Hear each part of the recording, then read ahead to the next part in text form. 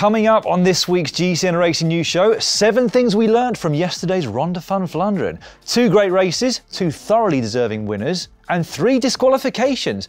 One of those was incredibly controversial. The days of a fan getting a bottle from a rider as a souvenir seem to be over.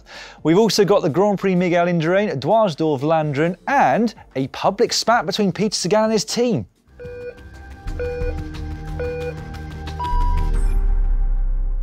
First up though, seven things we learnt from the men's and women's tours of Flanders. This year, it is the only spring cobble classic after that postponement of Paris-Roubaix until October. More on that later, but the first thing we learnt is that Kasper Asgreen is the king of the cobbles this spring. There's no doubt about this one. You cannot argue with me on it. Uh, he won E3 in amazing solo fashion. He won yesterday in a similarly exciting manner, beating Mathieu van der Poel in a sprint.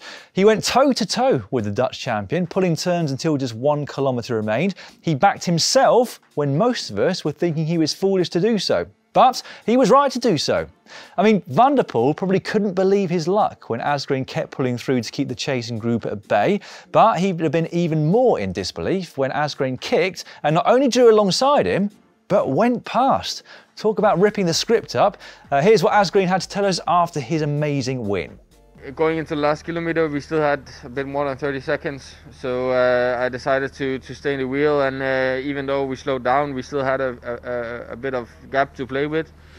Uh, and then uh, I could control when, when I wanted to open the sprint and uh, and uh, just go from there.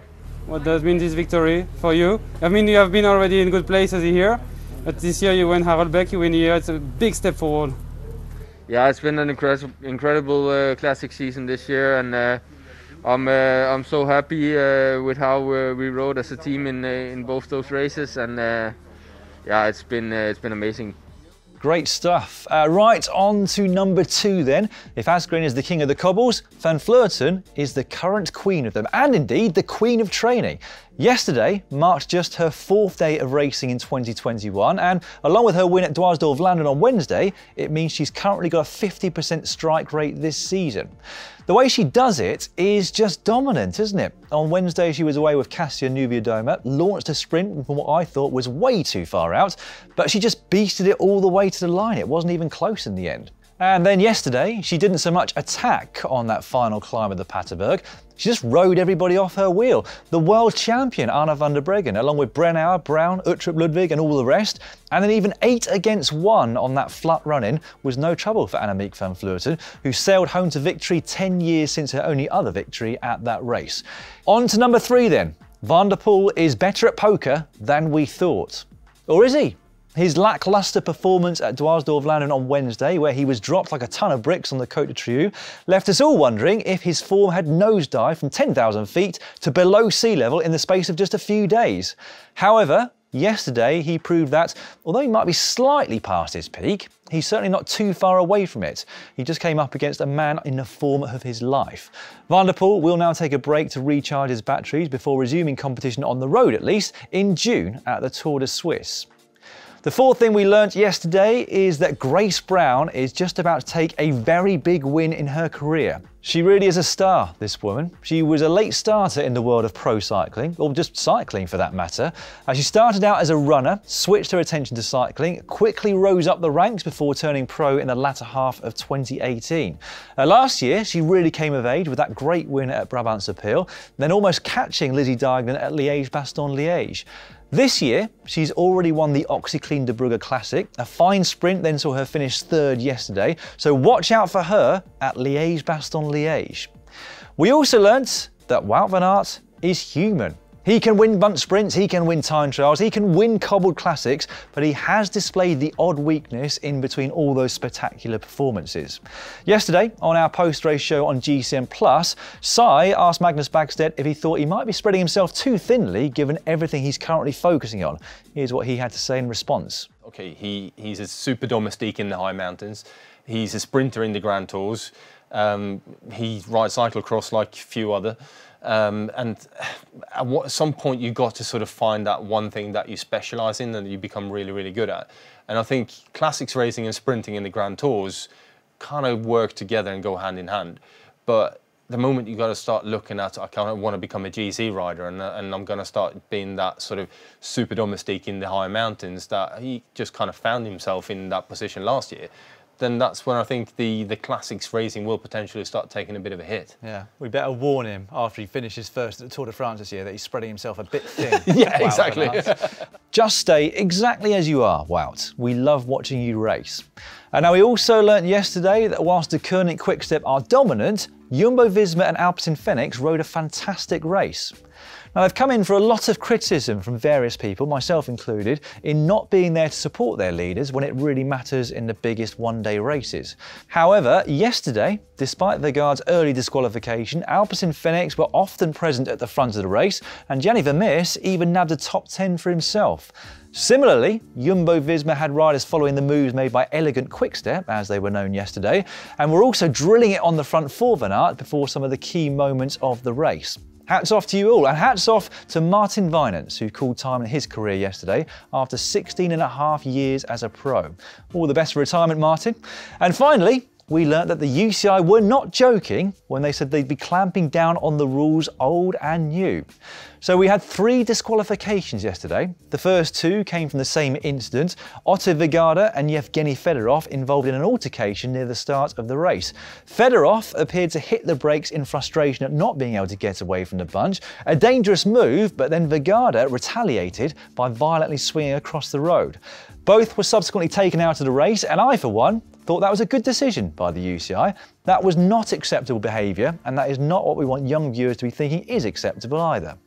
A few kilometres down the road, though, there was a much less controversial incident and therefore a more controversial disqualification. Michael Schär of AG2R Citroën, waiting for his team car after another mechanical, threw his bottle to some spectators stood at the side of the road. Nothing abnormal about that, except for the fact that this is now banned under UCI rules which came into place on April the 1st. It's deemed as littering. Now, I did think I had read that the UCI had said this rule will be applied with discretion, i.e. if it's not dangerous and it's not littering because somebody in the crowd will pick it up, then no action will be taken. However, action was taken and Schär was removed from the race. Harsh, I think is the word we could use to describe that decision. Now, I would be the first person to condemn any sort of littering in races, but in my mind, it wasn't the case here. Uh, Andre Greipel also weighed in on this matter on Twitter, replying to Sporza. He said, It is getting ridiculous, UCI cycling. Rules are rules, but these things have to be changed. Riders are dedicating all winter to prepare for the classics, and this situation was clearly not necessary to put a rider out of the race. And I'm inclined to agree. I really hope this is not a sign of things to come. Seeing the smile on the face of a child who has passed a bottle with one of the stars of the pro peloton always puts a smile on my face. It means a lot, and it's something that some people treasure forever. If it's a dangerous bead on the throw that endangers other riders, or if it's away from spectators and outside a litter zone, yes, that's not on. But please, let's just have a bit of common sense when deciding on any potential sanction within a race. Or maybe you disagree with me. If you do, or you don't, you can let me know not only in the comments section down below, but also in our poll that we put up on the GCN app yesterday. You'll be able to find a link to that on your screen right now, or indeed in the description below this video. Now, speaking of UCI rules, the Super Tuck ban finally came into force last Thursday on April the 1st, and it wasn't a joke. It's a thing of the past. So who better to give us one last beautiful shot of that position than the man that made it famous, Matej Mohoric of Bahrain Victorious.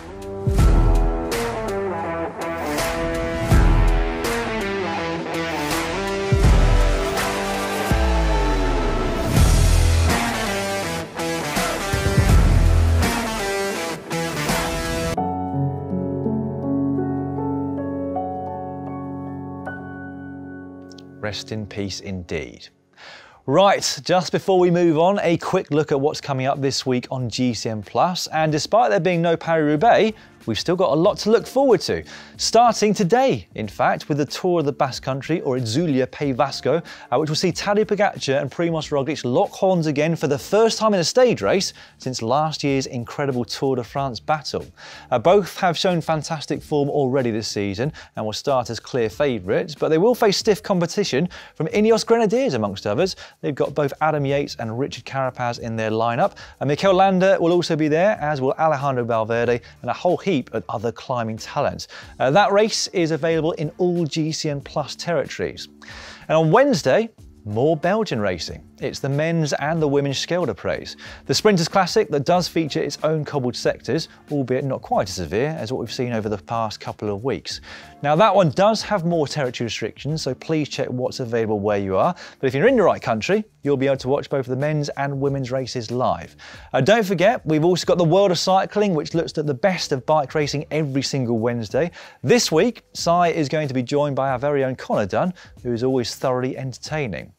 Uh, also on GCN Plus this week, two more films, one of which is entitled Steel is Real. Uh, Reynolds Tubing has a long history in the bike industry and at races. In fact, it was the choice of Eddie Merckx back in his days dominating the sport. And this film follows Reynolds through the ages, looks at where they are now and their current manufacturing process. Here's a quick look at what you can expect. Got 2,000 different tube options on file. They can make really, really stiff tubes that have really, really thin walls, so we can make really light bikes. We rode on steel bikes for around three years. The stiffness is really unique. With humble beginnings over 120 years ago, Reynolds has persevered and adapted. There were some major concerns about whether Reynolds would be able to survive. We are not actually competing with carbon fibre. We are now in a different kind of niche. The way steel and titanium ride, I really enjoy the feel of the tubes. Steel is coming back as a premium material. Great stuff. Moving on, Saturday saw the 33rd edition of the Gran Premio Miguel Indurain take place, and the older generation showed all the young guns they're not done yet. Luis Leon Sanchez of Astana was particularly active, away in a group that also included British champion Ben Swift, amongst others. In the group behind, well, here's Alejandro Valverde, waving at the camera and having a rather jolly day out in the saddle. And here he is a couple of kilometres later, making a blistering attack to get away from the group he was in. He soon caught Sanchez, and even with another Astana rider, Alexei Lutsenko for company, there was nothing they could do to stop Valverde when he attacked on the brutally steep final climb. From that moment onwards, the result was really not in doubt. His first win since the stage of the 2019 Vuelta a España. Now, to put that win into some kind of context, he's older than me, which is really all you need to know. As I said on Twitter, getting out of bed without any aches and pains is really the only win you should be achieving at this point in your life. Uh, meanwhile, I have got to give a shout out to Dylan van Baarle for his ride at Dwars door Vlaanderen last Wednesday. He attacked a quality group of riders with 52 Ks remaining. And I'll hold my hands up, in commentary, I said I thought that was a foolish move. More for me, really, because Van Baarle pulled off an incredible ride on the day to take the biggest win of his career so far, in my opinion. Uh, also taking his first win of this season yesterday in France was the French champion Arnaud Démare. He got the better of Bouhanni, who is still racing, whilst the UCI Disciplinary Commission looks at that incident from one week ago. Uh, thanks incidentally for all your comments on that, by the way. I did read through as many as I could last week. There was a lot of debate around the rights and wrongs of what he did, that's for sure. Just a couple of other bits of news now. I've already mentioned the postponement of Paris-Roubaix, but I haven't mentioned the revised dates.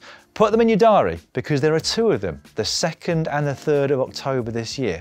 That's right, a Sunday in Hell becomes a weekend in Hell with the women's race on the Saturday and the men's the following day. And I think that's a great move. It can be a bit of a marathon sitting through two races in the same day, particularly monuments like Paris-Roubaix. Uh, now they've got their own breathing space though, and I honestly cannot wait. There are a number of high-profile female pros retiring at the end of this year, and there is a big chance here for them to have the biggest swan song of them all. Uh, meanwhile, Peter Sagan was in the headlines last week after the manager of his team, Ralph Denk, insinuated that he thought the best of Sagan's career could be behind him and that he was prepared to build a team that didn't involve the three-time world champion. Uh, Sagan was very quick to hit back himself in the media, saying that if Denk doesn't believe in him, he'll be the first rider to go out and find a team that does. It'd be kind of weird, wouldn't it, having your work contract negotiations played out in the public eye? Speaking to Velo News, GCN said they think Dan Lloyd's best presenting days are behind him and that actually he was never really much good anyway. And on that bombshell, I shall bid you farewell. Cheers for watching. I look forward to seeing you all again very soon. At least I hope I will, if I'm still here. See you later.